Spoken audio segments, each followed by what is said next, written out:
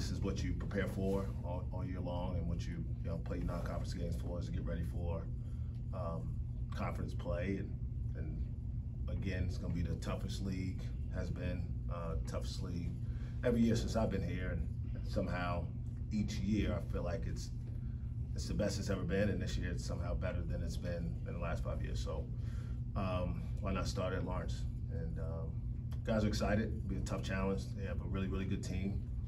Um, you know, for my money, he's probably the best coach in the country, and so tall task. Uh, I think our guys are prepared for it.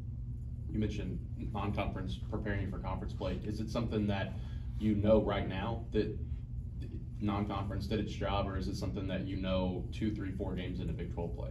No, I think I know. Um, you know, I think we've we've seen significant um, progress from what's today, December 29th, 30th.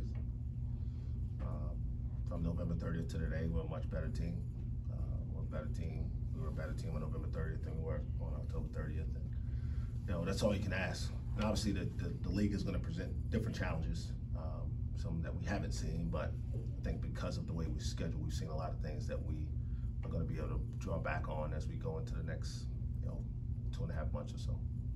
You guys had some solid momentum going. You talked about how good the practices were before this break. Have they kind of continued after this bit of a break? They have. Um, I always worry about just this time of year. They need to go away. Uh, I'm, I'm, I'm, never a, a, fan of kids having to stay here uh, for Christmas. Um, I, I, don't begrudge coaches who do that. It's just not my belief system. Uh, but it's also something you worry about because you don't expect they're going to keep doing what you've been doing. There's no treadmills at their houses, you know, that they're punishing themselves over. Um, but I, they came back with a good focus.